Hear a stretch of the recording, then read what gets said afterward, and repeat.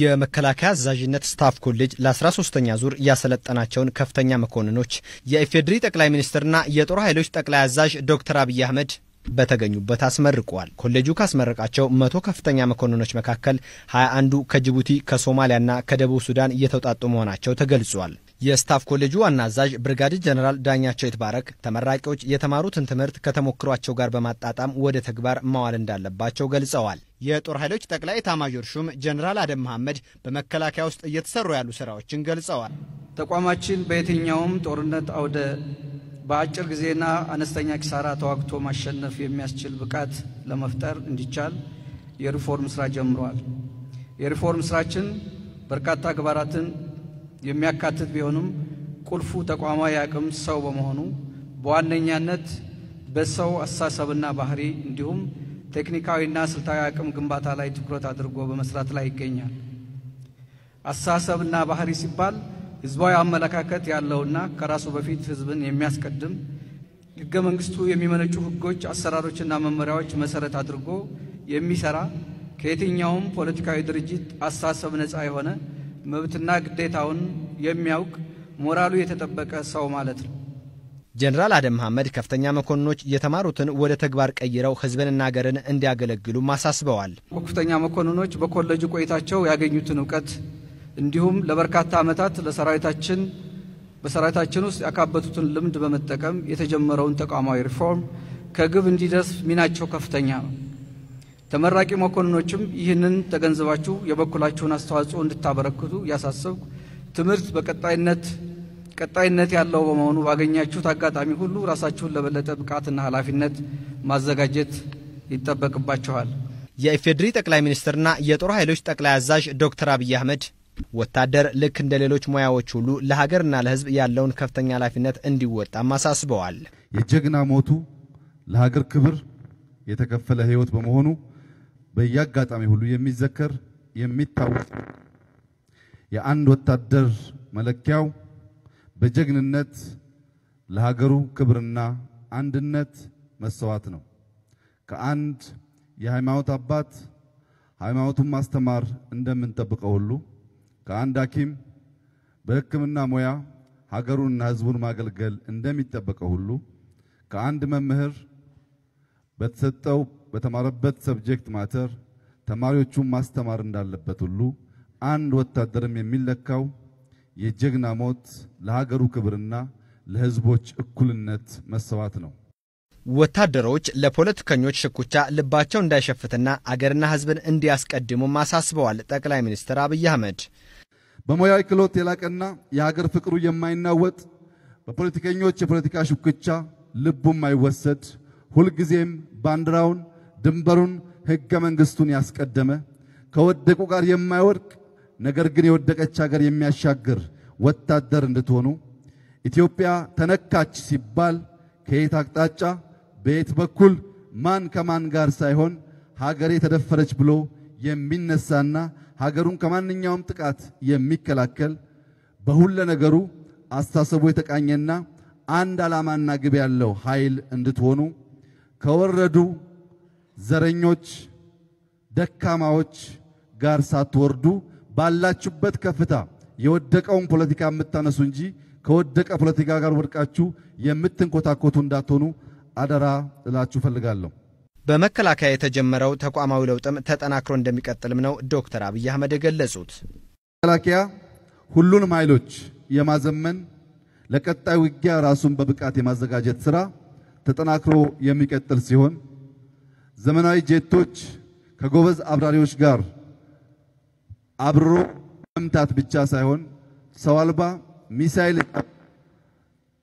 unmanned air vehicle ያለውና ሰው አልባ በሆነ መንገድ የፈለገውን target መምታት የሚችል እንዲሆን ሄሊኮፕተሮቻችን በቀን የሚጓዙ ብቻ ሳይሆን በጨለማም target ለይቶ መምታት የሚችሉ እንዲሆኑ air force ኣችን ሙሉ በሙሉ ኢትዮጵያን መከላከል በሚችል መልኩ የማዘመኑ ስራ በፍጥነት የሚከናወን ይሆናል። ተመራቂዎች ትምህርት የማይቋረጥ ሂደት መሆኑን አውቀው ለሌሎች ተጨማሪ ዕውቀትና አገልግሎት እንዲዘጋጁም ጥሪ ቀርበዋል።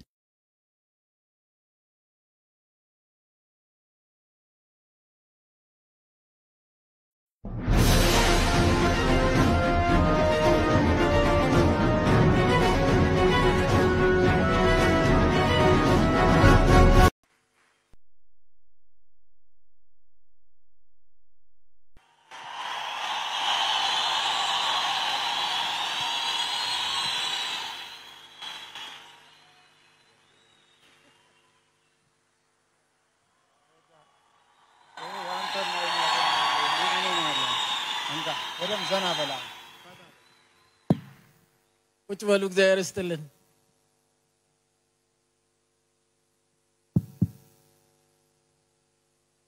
የሰው ልጅ ለተወለደለት ዓላማ ስኖር እንዴት ደስ እንደምል ዛሬ ማየት ትችላላችሁ።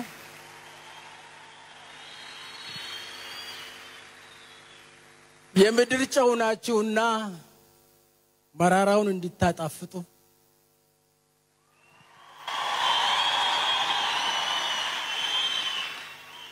የምድር ብርሃን ናችሁና ጨለማውን እንዲትገፉ እንዲታበሩ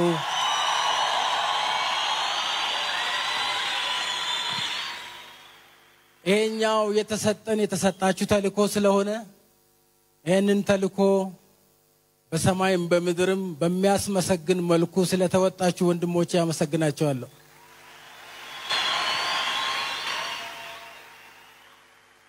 ክብርት ሚኒስትር ፓስተር ጻድቁ፣ ፓስተር ጆን፣ ወንድሞቼ ዘማሪዎች፣ አገልጋዮች፣ የተከበራችሁ የከተማችን ነዋሪዎች፣ የህይወት ጎዳናዎች እንዲቃኑ ትውልድ ነገውን እንዲያይ ጎዳና ማለፊያ ካልሆነ ማረፊያ እንደማይሆን እኛ ኢትዮጵያውያን ደግሞ መደጋገፍ እንደምንችል መተጋገዝ እንደምንችል እግዚአብሔርም ይሄኛውኑ ባርኮ ስለሰጠን እናንተ ደግሞ ይሄንን መልካም ነገር በልባችሁ አስባችሁ እጆቻችሁን ዘርግታችሁ ወንድሞቻችሁን ለመርዳት የተቃና ስራ ልትሰሩ ስላሰባችሁ እግዚአብሔር አምላክ በመስጠት ጸጋ ይባርካችሁ።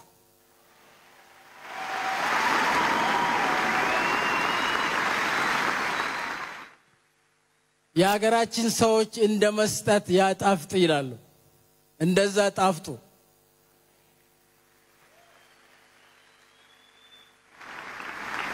አዲስ አበባችን ዋና ከተማችን የምንኮራባት ሀገራችን ኢትዮጵያና ሕዝቦቿ ኩራታችን ዛሬ በጎዳና ላይ ያሉ የራሳችን ወንድሞች በከፊል የነሱ ስተት፣ በከፊል ደግሞ የቤተሰቦች፣ በከፊል ደግሞ እኛ የተሰጠንን አደራ በሚገባ ያልተረዳን የሃይማኖት ተቋማት በጥቅሉ ደግሞ መንግስት የማስተባበሩን ስራ በሚገባ መስራት ሲያቅተው በጋራ የወደቅነው ፈተና ነው። ይሄኛውን ፈተና ግን እንደምናልፍ ደግሞ እርግጠኞች ነን። ምክንያቱም ታላላቅ ፈተናዎችን በጋራ አልፈን እናውቃለን። ብዙዎቹንም አሁን እያለፍን እንገኛለን። እግዚአብሔርም ደግሞ ይረዳናል።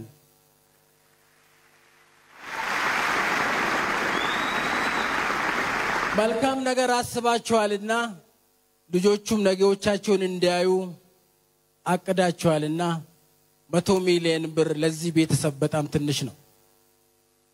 መቶ ሚሊዮን ብር ማለት የሀገራችን ባለ ሀብቶች ጥሮ ግረው ያገኙትን በትንሹ ለአንድ ስራ የሚያውሉበት ብር ነው። ከተማ አስተዳደራችን ይሄኛውን ስራ ስንጀምር በካቢኔ ደረጃ ወስነን መቶ ሚሊዮን ብር ስንሰጥ ብሩ ከትውልድ በታች ስለሆነ እነዚህ ትውልዶች ደግሞ ነገዎቻቸውን እንዲያዩ ስናደርጋቸው መቶ ሚሊዮን ሳይሆን ቢሊዮኖችን እንደሚያመጡ ተስፋ በማድረግ ነውና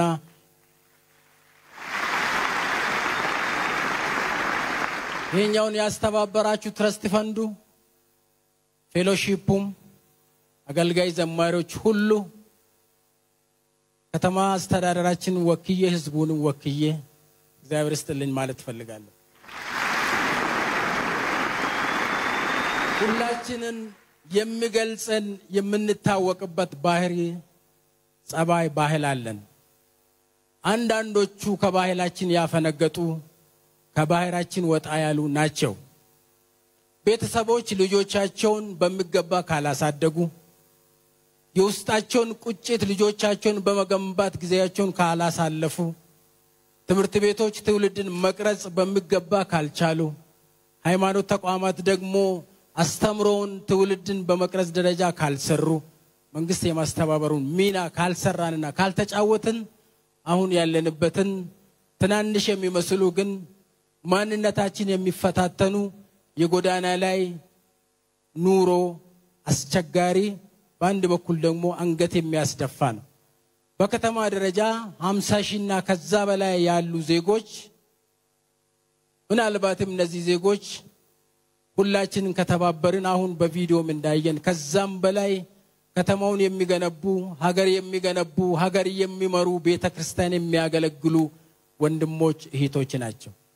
ስለዚህ እኛ እንደ ተልእኮአችን ጨው መሆን ከቻልን ብርሃን መሆን ከቻልን ተልእኮአችንን በሚገባ መፈጸም ከቻልን ሀምሳ ሺህ በጣም ጥቂት ቁጥር ነው። በሁለተኛ መንገድ ግን አዲስ አበባ ከተማ ዜጎች በጎዳና ላይ እንዲኖሩ ህይወታቸውን በጎዳና እንዲገፉ እንደዚህ አይነት ኮንሰርት በየጊዜው ማዘጋጀት አንፈልግም።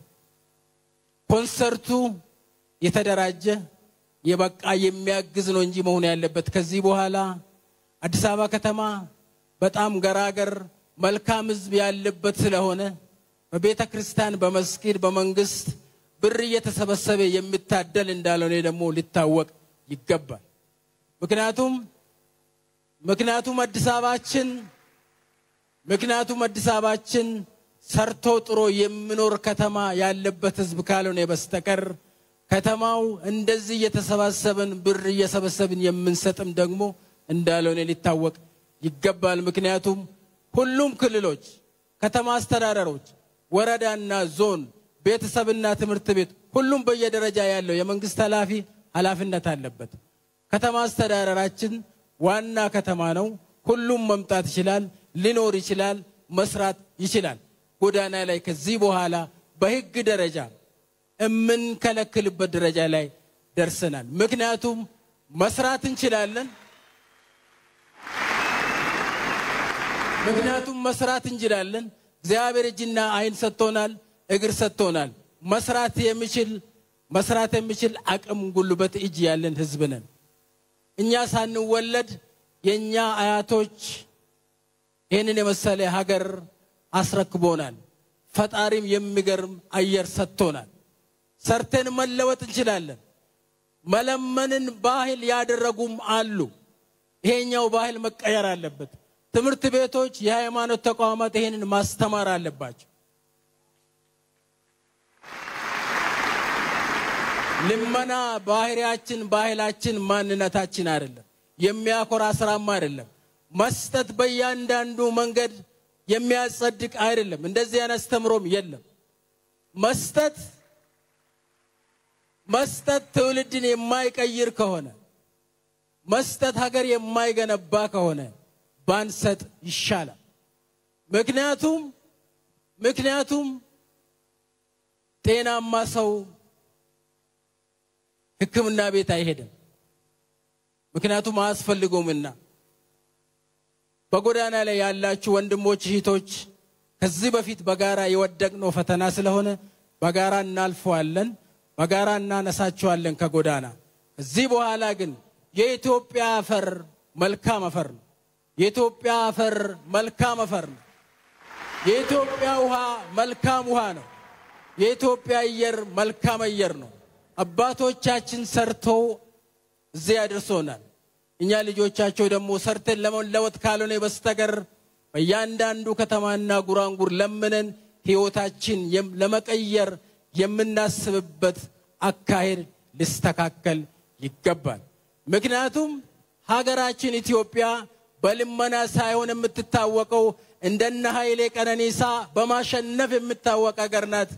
ሀገራችን ኢትዮጵያ ሀገራችን ኢትዮጵያ እንደ ንጉሥ ኃይለ ሥላሴ በአፍሪካ ደረጃ የአፍሪካ አንድነት የመሰረቱ አባቶች ያለበት ሀገር። ሀገራችን ኢትዮጵያ እንደ ዶክተር አብይ አይነት ያለ ጦርነት ወንድም የሚያስታርቅ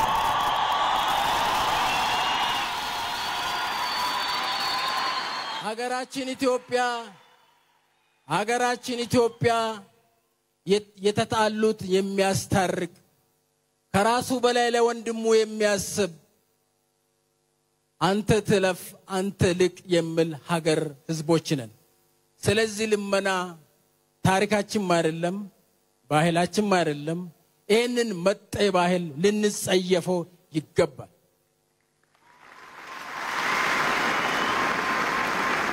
አገልጋዮች፣ የቤተ ክርስቲያን ሰራተኞች፣ ምዕመናን አንድ ነገር ጠይቃቸዋለሁ። በእግዚአብሔር ፍቅር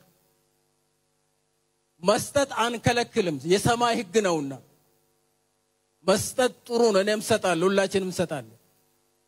ስትሰጡ ግን መንግስት ባደራጀውና ባዘጋጀው የትውልድን ህይወት ሊቀይር በሚችል ካልሆነ በስተቀር በእያንዳንዱ መንገድ እያሄድን የምንሰጥ ከሆነ ከተማውንም ከተማነቱ ይቀርና ጎዳና ተዳዳሪነት የበዛበት ይሆናል።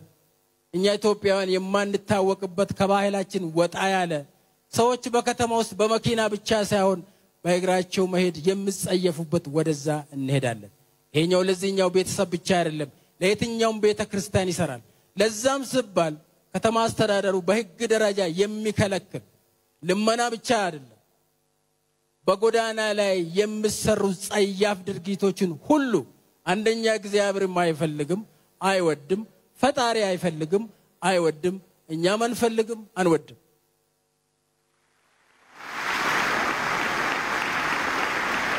ዛሬ እንሰጣለን። ልንሰጥ ነው የመጣ ነው። ከጎዳና እናነሳለን፣ አላማችን ነው። ነገር ግን ከዚህ በኋላ በእያንዳንዱ የኢትዮጵያ ጫፍ ያላችሁ ቤተሰቦች እንዲትሰሙ የሚፈልገው ትምህርት ቤቶች እንዲትሰሙ የሚፈልገው የመንግስት ኃላፊዎች እንዲትሰሙ የሚፈልገው አዲስ አበባ ከተማ ጎዳና የሚያቅፍ ከዚህ በኋላ ሞራል አቅም የለው። በህግ እንከለክላለን። ከዚህ በፊት በጋራ የሰራነውን በጋራ የወደቅነውን ፈተና አሁን በጀመርነው መልክ እናልፈዋለን። ከዚህ በኋላ ግን ሁለተኛ ፈተና መውደቅ የለም። በጋራ እንቆማለን። እግዚአብሔር አምላክ ሀገራችንና ህዝባችን ይባርክ። አመሰግናለሁ።